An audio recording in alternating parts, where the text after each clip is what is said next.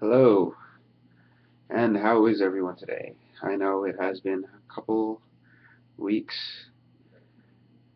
since I've made a YouTube video, and sorry no a cappella today, but what I will be discussing is Once Upon a Time in Wonderland.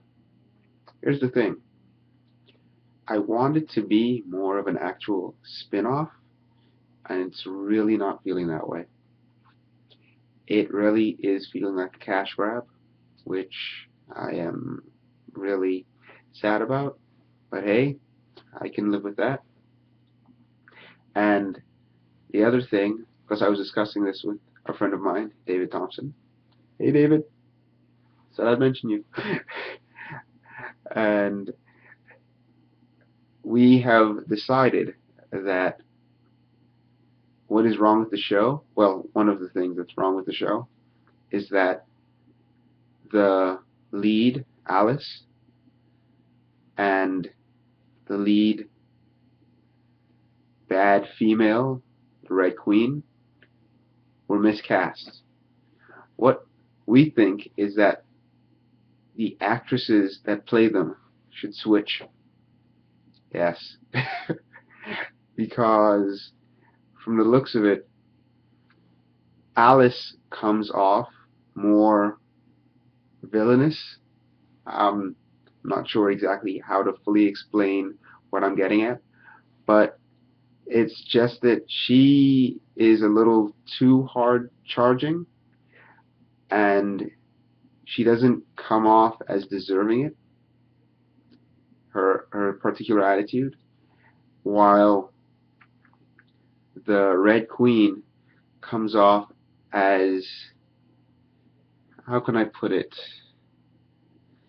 superficially mean. I don't want to compare them to the other Once Upon a Time characters, but let's just say Regina you get the feeling that her vengeful actions have some weight to them. While with the Red Queen, it's just a little too. I don't want to use the, the term cartoony, but I have to. It's, it's just no real fear. You, you you don't you don't get the feeling that she's frightening anyone. And she does feel more of the hero type. Just as hate hate to say it, that's just the feeling I get. I'm sure other people have different feelings. So that's just my personal opinion. Um, but other than that, I like the show. I I like um, the way they are going through Wonderland, even though I wish they would flesh it out more. And of course, the big problem right now is where is the Hatter? Because he was the only reason, well, apart from the Queen of Hearts, obviously, that I was interested in watching the show to see what was going to be going on. And here are my questions, which I guess should have been put on Twitter, but I don't care. Uh, so, this is just a joking one. The the the the genie. So that's supposed to be Robin Williams, right? Just, just saying.